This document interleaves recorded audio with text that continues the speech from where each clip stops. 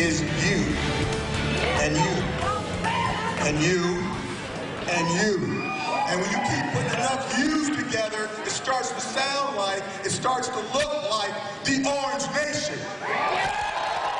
Dino Babers rallying the Orange Faithful for tomorrow's Camping World Bowl matchup. Tons of fans have made their way to Orlando, Florida for the big game. Good evening, everyone. The game kicks off tomorrow evening at 5.15, and you can watch it all on ESPN. So just how fired up are SU fans heading into tomorrow's matchup with West Virginia?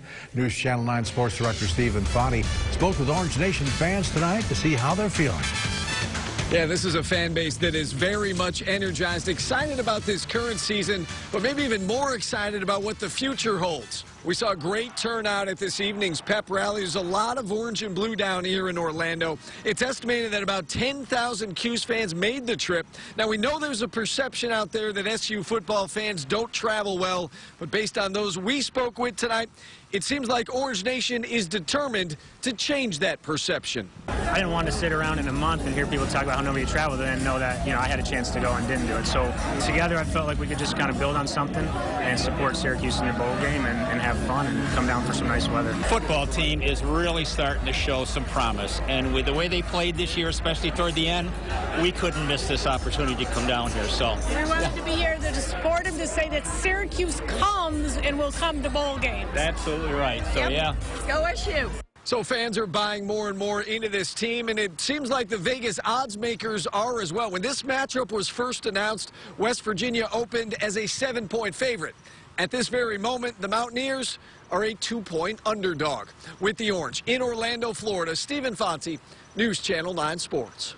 And if you're looking for a place to watch that game, the Press Room Pub in Syracuse might be an option. They're offering a free appetizer buffet three hours before the game begins.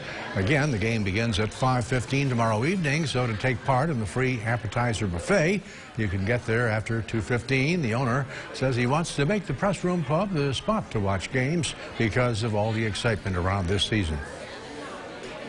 I came here as a freshman in 1969. I graduated in 73.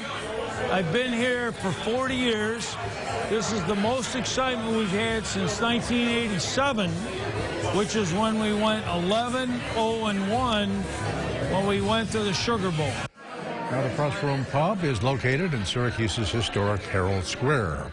Gearing up for the big game is spike sales at popular sports stores locally. There are a few types of Camping World Bowl shirts to choose from at Manny's, for instance, on Marshall Street, but they claim they're running out. There are some women's and children's sizes left, but adult sizes in general may be hard to come by. Either way, a winning 9 and 3 season means more money for local businesses. Our coverage of the Camping World Bowl continues well after our newscast tomorrow.